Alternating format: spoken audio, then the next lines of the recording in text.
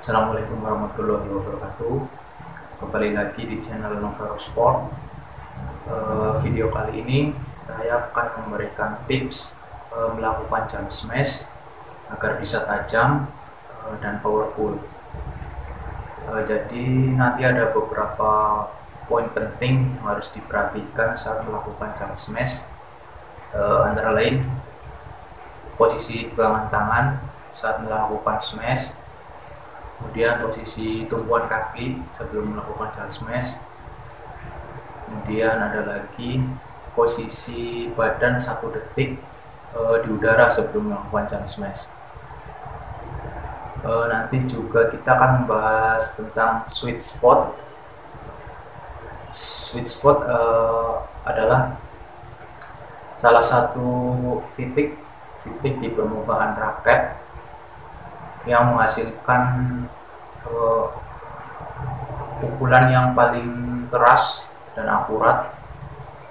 Jadi untuk posisinya itu ada di sekitar sini ya area tengah area tengah dan ujung-ujung raket di, di sekitar sini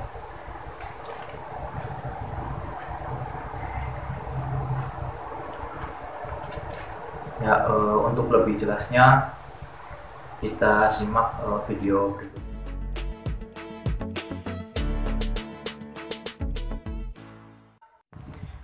Oke teman-teman, ini ada beberapa cuplikan video saat melakukan jump smash.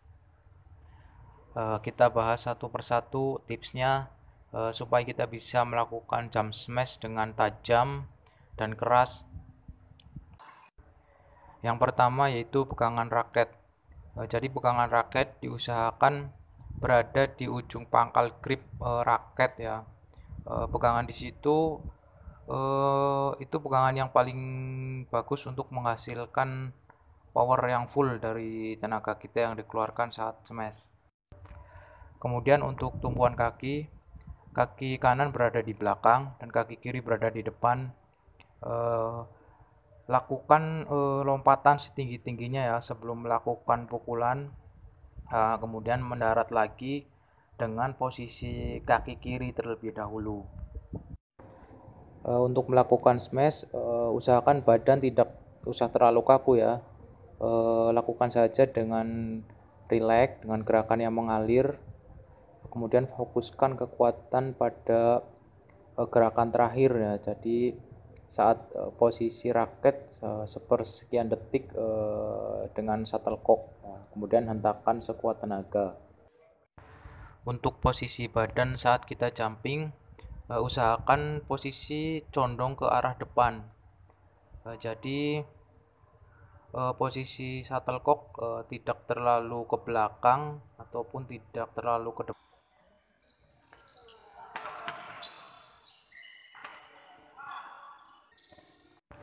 e, caranya yaitu sebelum kita jumping e, kita melangkah satu langkah ke belakang ya. E, kemudian untuk mengatur sudut pukulan kita ya. Jadi fokuskan kepada e, shuttlecock kemudian melangkah satu langkah ke belakang kemudian e, lakukan jumping e, dengan e, posisi badan condong ke depan. Untuk tips berikutnya uh, setelah jam smash kita uh, usahakan siap kembali ya uh, untuk mengantisipasi apabila pertahanan lawan kita bagus. Uh, jadi kita sudah siap untuk melakukan jam smash kembali uh, untuk mematikan lawan. Uh, untuk saran saya bagi pemula uh, usahakan tidak usah memakai tenaga yang besar terlebih dulu uh, yang penting tekniknya bagus tekniknya benar. Uh, nanti kalau sudah bagus kita uh, tinggal menambahkan power. Untuk selanjutnya adalah feeling ya. Uh, feeling juga nggak kalah penting. Uh, kita harus bisa mengukur uh, sudut pukulan kita kemudian uh, posisi tumpuan kaki sebelum jumping. Nah, kemudian uh, kontak poin antara kepala raket dan shuttlecock sudah harus dipaskan ya. E, kalau tidak e, biasanya smashan kita akan terlalu datar ataupun terlalu menukik ya, sehingga bisa menyangkut di net. Nah, ini adalah uh, contoh uh, jump smash yang terlalu terburu-buru posisi tumpuannya terlalu ke belakang uh, jadi sudut pukulnya tidak pas ya. Jadi shuttlecock terlalu jauh di depan. Kemudian saat kita melakukan smash akhirnya uh, bola pun nyangkut di net ya. Uh, jadi kesimpulannya uh, saat kita melakukan jump smash uh, tidak usah terburu-buru badan rileks saja kemudian fokuskan uh, perpindahan ya perpindahan tenaga dari kepala raket uh, ke shuttlecock uh, dengan kekuatan pergelangan tangan kita ya.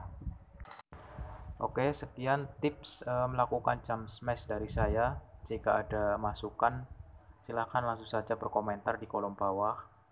Uh, kita sharing saja, kita berbagi ilmu uh, supaya skill kita menjadi lebih baik lagi. Demikian video tutorial bulu tangkis dari saya. Terima kasih buat teman-teman yang sudah menonton video ini sampai akhir. Kemudian yang belum subscribe uh, silahkan subscribe terlebih dahulu uh, supaya bisa mengikuti video-video tutorial lainnya dari channel ini. Uh, cukup sekian. Assalamualaikum warahmatullahi wabarakatuh